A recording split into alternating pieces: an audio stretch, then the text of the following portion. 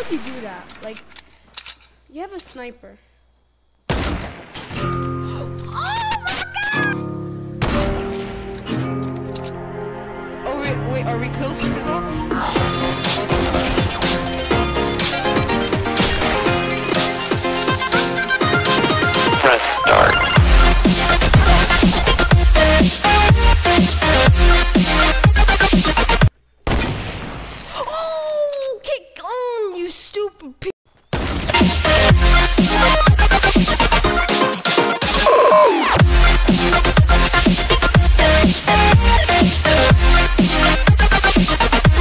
Yeah.